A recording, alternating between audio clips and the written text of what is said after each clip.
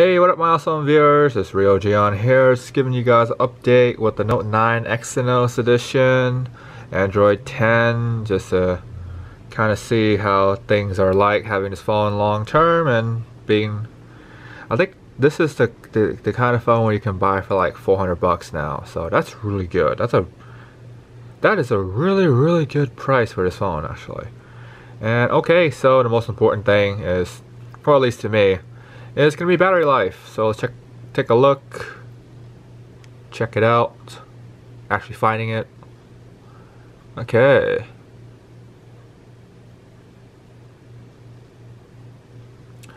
Okay, so screen on time, 3 hours and 49 minutes, which is actually a pretty decent amount. This is like a decent day. Uh, I would not say heavy, but I also would not say light. So a, a decent day with just playing stuff on meme, some music, PPSSPP, YouTube. Oh, this is the the Adless YouTube, by the way. So if you guys are interested in that, that's that's Adless, like no ads. So cool stuff. Uh, Forge, Gallery, and just a bunch of other minor stuff. And yeah, so mainly, again, I'm mainly sort of like an emulator kind of guy where I just play emulated games and stuff on the phone because the in-app, the games that are in the app store are filled with microtransaction and are not fun most of the time. So yeah, that's what I do. And to be honest, with this kind of battery life, it's actually not that bad. Like almost four hours of screen on time with 52% left. So I'm guessing it's probably the same as it was before because before I think I averaged about 8 so this is probably going to average about 8 more or less. And yeah I, I still don't understand why people complain about the Exynos version having terrible battery life. Uh, to be honest 8 hours is actually good enough. You, you should not be on the phone that long anyways to be honest. But hey you know if that's you it's eight, eight hours is actually not that bad. But maybe to some that's terrible. Like some some of you guys out there eight hours of battery life you guys are like no this is like chump. So that, that could also be you. So I don't know which whatever whichever the case it is.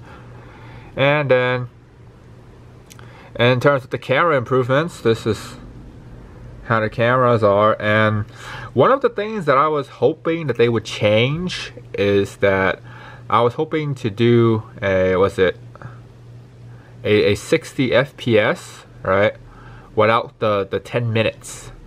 But as you guys can see here it, it still has that 10 minutes so that kind of sucks because I was hoping to remove that from a software I honestly think that this is a software limitation kind of deal where you can just, you know, literally remove this from a software patch. But I guess not. So sad, but oh well. And then in terms of camera quality, it, it's pretty much the same. I don't think anything really changes. They say improvements, but improvements are probably so minor that it doesn't really matter. Then besides battery life, besides camera, I think those are pretty much the most important features that people would look for in the phone in terms of the software update. So camera, to be honest, hasn't changed much. And I, I miss the whole having two two buttons, like one button for a photo, one button for for a video. I seriously thought I, I wouldn't miss it, but I actually do. It's actually kind of handy and I think Samsung should probably bring that back to be honest. So yeah, I think I touched base on this before with my why I'm keeping the Note 9 video discussion S20 Real Talk.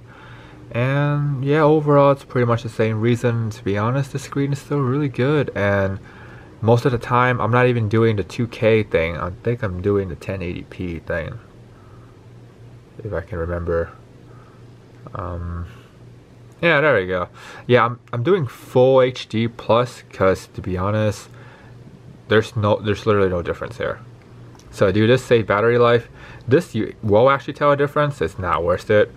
but this is like that sweet middle ground. So I would say go go for the 1080p because that's pretty good. And to be honest, here, this is what 1080p looks like. Really good, right? Okay, so now we're gonna do 2K. I believe that's what I think 2K is.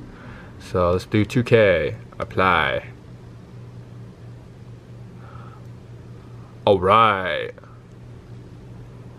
See a difference? Probably not. Me neither. So, what's the point? But if you really want to say, oh yeah, my, my display can display 2K even though you can't really tell a difference anyways.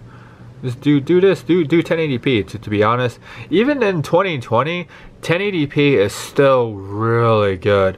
Like a lot of phones that have 1080p screens are still really good. So to be honest, I don't I don't see why you should do 2K or 4K or not 90 hertz or whatever whatever hertz. It's still really good. It's still really smooth. Not worse to upgrade if if you have something like this. If you have like a S9 Plus or a Note 9, and you consider moving on to something, don't don't do yourself a favor and don't. Because here's the thing: the cameras are good enough. To be honest, they are. And the battery life, again, good enough. And most likely, if you guys are in the US, you guys have the better version, right? The Snapdragon 845 or 50, 845 for, for this, this particular phone.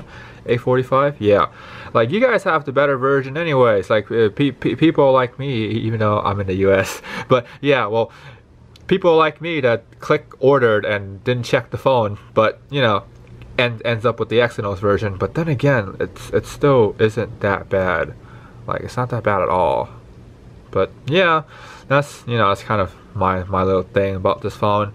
So if you have this phone and you want to trade it in for something else, don't. It's not worth it. Wait maybe two more years, then probably see. Cause yeah, this is still a really good phone don't give up on it.